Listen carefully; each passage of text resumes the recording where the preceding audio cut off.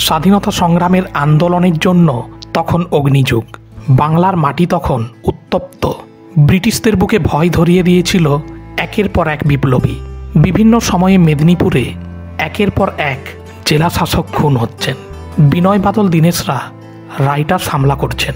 তো কোথাও বুড়িপালামের তীরে বিদেশ থেকে অস্ত্র এনে ব্রিটিশদের হামলা করছেন বাঘা যতীন আবার কোথাও মাস্টারদার নেতৃত্বে অস্ত্রাগার লুণ্ঠন হচ্ছে। এরকম একের পর এক ঘটনায় স্বাধীনতার অনুঘটক রূপে কাজ করেছে। বঙ্গভঙ্গের বিরুদ্ধে আন্দোলনে বাঙালি জাতীয়তাবাদী পত্রিকা হিতবাদীর ছিল গুরুত্বপূর্ণ ভূমিকা। এই পত্রিকার আড়ালে চলত বিপ্লবীদের ঐক্যবদ্ধ করার কাজ। হিতবাদী পত্রিকায় কাজ করার সুবাদে বিপ্লবীদের সাথে আলাপ হতে শুরু করে অগ্নিযুগের মহাবিপ্লবী শ্রীশচন্দ্র ঘোষের। সেই সব বিপ্লবীদের ইংরেজদের চোখে ধুলো দিয়ে আশ্রয় দেওয়া ও তাদেরকে গোপনে বন্দুক পৌঁছে দেওয়ার কাজে হাতে খড়ি হয় শ্রীশচন্দ্র ঘোষের। সেই থেকে এ কাজে তিনি পারদর্শী হয়ে ওঠেন। ফরাসি উপনিবেশ চন্দননগরকে কাজে লাগিয়ে বিপ্লবীরা চালাতেন একের পর এক দুঃসাহসী কার্যকলাপ। চন্দননগরে বাড়ি ছিল শ্রীশচন্দ্র ঘোষের। যে কারণে তিনি এই কাজের ভার নিতেন। ইংরেজরা ফরাসিদের কাছ থেকে অনুমতি নিয়ে ওনার বাড়ির সামনে পুলিশ ফাঁড়ি বসিয়েও ওনাকে ধরতে পারেনি।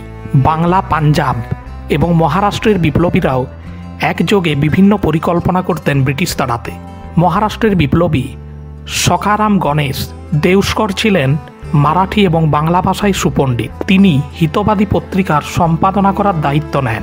তখন সখারাম গণেশ দেউস্করের মাধ্যমে শ্রীশচন্দ্র ঘোষের বিপ্লবী রাসবিহারী বসুর পরিচয় হয়। রাসবিহারী বসুকে একাধিকবার পুলিশের নজর এড়িয়ে বিপ্লবী শ্রীশচন্দ্র ঘোষ পৌঁছে দিয়েছেন ওনার গন্তব্যে। চন্দননগরের কুখ্যাত মেয়র তারদিল্যাব হত্যার চেষ্টা ডেনহ্যামের হত্যার চেষ্টার সময়ও তিনি বিপ্লবীদের সাহায্য করেছিলেন। রডা কোম্পানি লুণ্ঠন করা, কার্তুজ ও মাউজার পিস্তল তিনি পৌঁছে দিয়েছিলেন বিপ্লবীদের ডেরায়। রাসবিহারী বসুর বিরুদ্ধে রাজসাক্ষী হন নরেন গোসাই। নরেন গোসাই এভাবে বিশ্বাসঘাতকতা করলে তাকে হত্যার পরিকল্পনা করেন বিপ্লবী কানাইলাল দত্ত। তখন আলিপুর সেন্ট্রাল জেলে কানাইলাল দত্তের কাছে ছল চাতুরি করে রিভলভার পৌঁছে দেন বিপ্লবী শ্রীশচন্দ্র ঘোষ। বিপ্লবী নরেন গোসাই পুলিশের কড়া পাহারায় জেলে বন্দি। ঠিক তখনই অসুস্থতার অজুহাতে হাসপাতালে ভর্তি হন কানাইলাল দত্ত। সেখানে বিপ্লবী সত্যেন্দ্রনাথ বসুর সহায়তায় নরেন গোসাইকে হত্যা করেন বিপ্লবী কানাইলাল দত্ত, যার বিচারে ওনাদের দুজনের ফাঁসির দণ্ড দিয়েছিল আদালত। বিপ্লবী মতিলাল রায়, রাসবিহারী বসু, অমরেন্দ্র চট্টোপাধ্যায়ের মতো বিপ্লবীদের মধ্যে যোগাযোগ রক্ষার কাজ করতেন বিপ্লবী শ্রীশচন্দ্র ঘোষ, এছাড়াও দীনেশচন্দ্র মজুমদার, অরবিন্দ ঘোষ। এরকম বহু ফেরারি বিপ্লবীকে নিরাপদে আশ্রয়ের ব্যবস্থা করে দিয়েছিলেন শ্রীশচন্দ্র ঘোষ। বহুবার এ কাজে ওনাকে সাহায্য করতেন বিপ্লবী মতিলাল রায়। ব্রিটিশ পুলিশ ওনাকে ধরার জন্য ওনার বাড়ির সামনে পুলিশ ফাঁড়ি বসায়।